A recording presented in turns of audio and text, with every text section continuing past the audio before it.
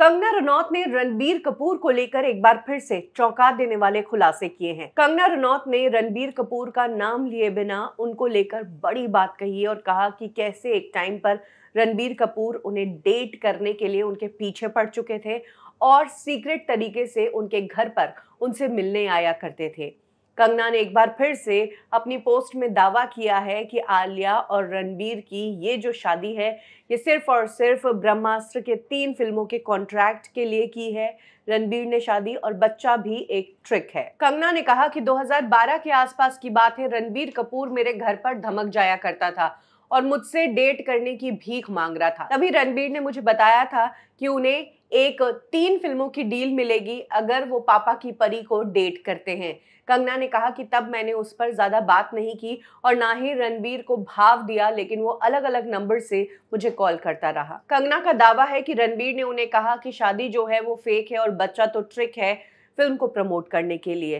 कंगना ने आगे कहा कि ये लोग ऐसे राक्षस है जो किसी भी हद तक गिर जाते हैं अपनी फ़िल्मों को चलाने के लिए, उन्हें प्रमोट करने के लिए। कंगना रनौत ने कहा कि जिस वक्त मैं क्वीन फ़िल्म कर रही थी और उस फ़िल्म की शूटिंग पेरिस में चल रही थी, तब रणबीर पेरिस भी आ गया। उसने मेरे सेट को विज़िट किया और उसके बाद से ही वो मेरे साथ अजीब सा बिहेव करने लगा और बार बार मुझसे मिलता रहा। कंगना का दावा है कि वो रणबीर को इग्नोर करती रही, फिर भी 2016 में रणबीर कपूर उनके पीछे एक बार फिर से पड़ गए। वो जिस बायोपिक में काम कर रहे थे, उसमें सेकंड लीड का रोल निभाने के लिए। आपको बता दें कि ये बायोपिक संजू की बात हो रही है और शायद संजू का जो अनुष्का शर्मा वाला किरदार है, वही कंगना को ऑफ़र हुआ था। कंगना ने आगे लिखा कि वो सेकेंड लीड नहीं प्ले करना चाहती थी, इसीलिए उन्होंने ये ऑफ़र रिजेक्ट कर दिया। कंगना का ये भी दावा है कि इसके बाद 2021 में उसने एक बार फिर से मुझे फ़िल्म ऑफ़र दी, लेकिन मैंने फिर वो फ़िल्म रिजेक्ट कर दी।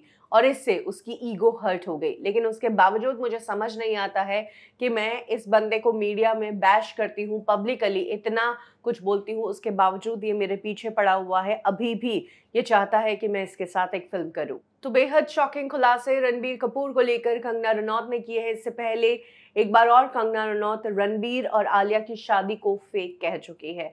आपको क्या लगता है कंगना के ये दावे सही है? क्या कोई फ़िल्म के लिए किसी से शादी कर लेगा, किसी के साथ बच्चा पैदा करेगा और क्या पूरी सोसाइटी को बेवकूफ़ बनाएगा सिर्फ़ एक फ़िल्म के लिए? आप ही बताइए कि रणबीर कपूर, जो एक बड़ी फ़िल्म फैमिली से बिलोंग करते हैं, एक अच्छे एक्टर भी हैं, क्या उन्हें फ़िल्मों की इतनी भूख है कि वो फ़िल्में चलाने के लिए इस तरह की हरकत करेंगे? कमेंट सेक्शन में अपनी राय ज़रूर शेयर करें।